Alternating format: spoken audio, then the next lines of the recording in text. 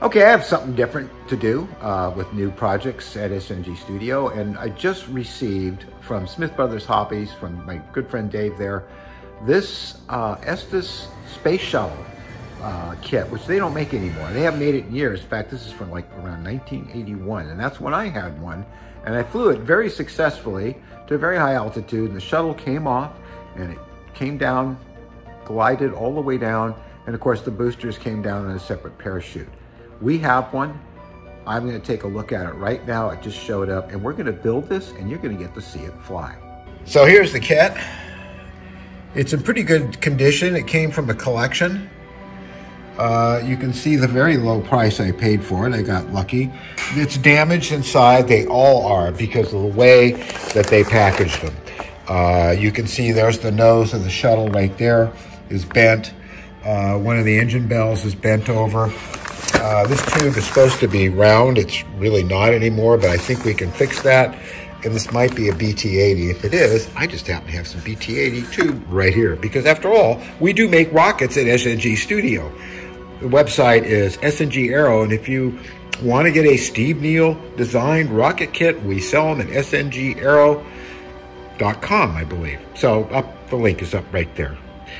Let's open this up. So here we go. We're going to cut the seal for the very first time. I got the label off. Let's cut this open. This has never been opened since about 1981. And we're going to take a look in here. First thing I want to do is pull out the vacuum form parts. Um, very fortunately, all this is in good condition still. A little warped, but not bad. This is a tragedy, right, right here. That's the nose, and I don't know uh, if there's much we can do to fix that, but we're going to try. Uh, here's the body tubes. Uh, of course, these are for these are for the SRBs, solid fuel boosters. This looks like it's it went back to being round. Well, it's a little not round here. As you can clearly see, it's more oval. However, we do have parts that fit inside that that could put it back to shape. These are, I believe, the tubes that go up inside for the uh, extended fins that make this model stable in flight. Uh, here's all the, uh, we got decals here somewhere. I'm wondering, are they still in good condition? Um, these are all the templates. Uh, be part of the experiment. Hmm, I'll take a look at that. Uh, I don't see any decals, so I guess they are in this bag here. I'm just, if they've been sealed in this all this time, they're probably still good. Let's find and here we go. Here's the decals, and they're in very good condition. Now, the ones on the Saturn 1B that I also got from Smith Brothers, they were 55 years old. These aren't quite as old, so I'm they're not even that yellowed. They're in really good condition. So we're gonna we're gonna scan these to a high resolution file. Should I screw them up, I can print out a new set because if they're all in white, I can cut it out and put it on white. It'll work. Some of these have to be on black, but that's okay because my printer will paint black and it will paint clear and it will paint uh, print gray. It just won't print white. So that's going to be great. All the rest of the parts look to be in good shape still. Uh, there's balsa parts here. These are the fins that keep the whole model stable. In case you're uh, wondering what it is I'm talking about exactly, I think it shows you here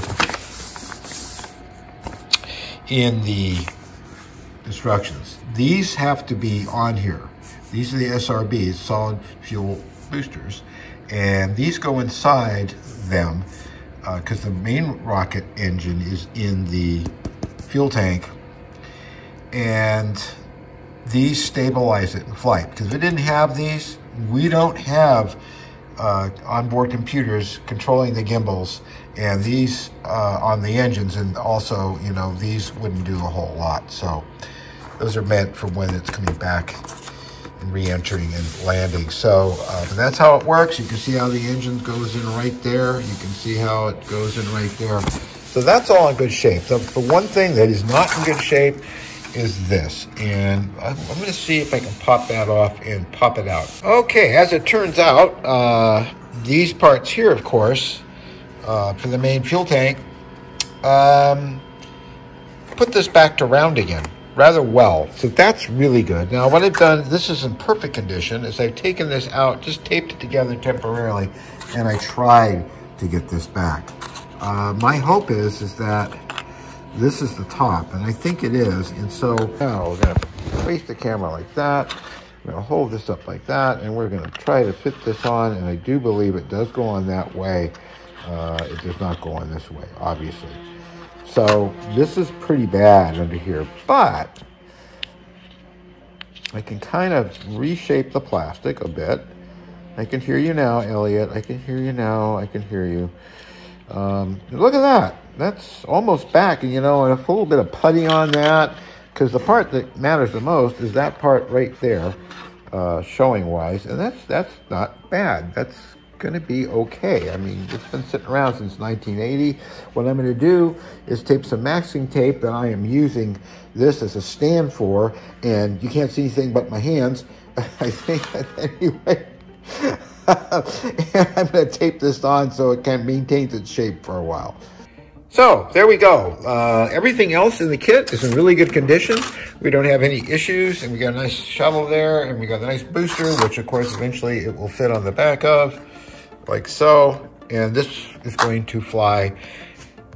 And I have such fond memories of doing this because when I first met my late wife, Jilly, uh, I built some rockets. this is before I learned how to fly radio-controlled airplanes, and we used to take them over to the Apollo field. We didn't know that it was illegal to fly them there. It certainly is now. Back then, it was still too near an airport, we didn't know that. But we flew there for quite some time. One of the rockets, besides the Saturn V, the uh, Mercury, uh, um, Redstone, and a few others we flew was the space shuttle. And this space shuttle was just wonderful because it came off and it really flew quite well and it circled down and down and down and landed in the cornfield and I couldn't find it. But I did find it. Actually, my dog, Wookie, found it. Yes, his name was Wookie. Anyway, we're going to make this fly. So this is the first part of this uh, video We're working on the space shuttle, the Estes space shuttle. And we will be back also this week to the uh,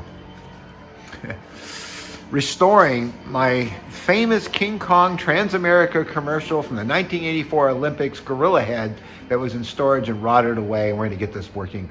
Uh, for those of you that are tuning in to just the rockets, uh, I've been a makeup effects artist for years and an actor in movies and all this stuff. And this is one of my original heads from one of my original gorilla suits that was used in film and TV for a very, very long time. And we'll be restoring that. We'll be getting back to that. So if you're enjoying these videos, please subscribe. Please hit the like button down there. It helps a lot. And uh, I'm glad you're enjoying them. And we'll see you on the next video.